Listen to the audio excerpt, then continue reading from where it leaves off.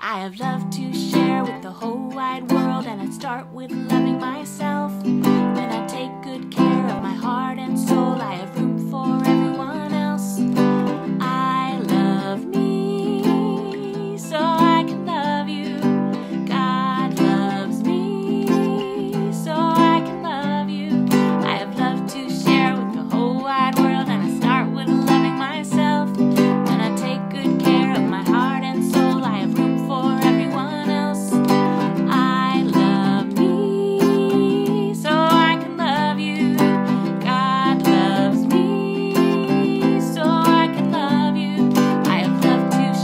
the whole wide world and I start with loving myself.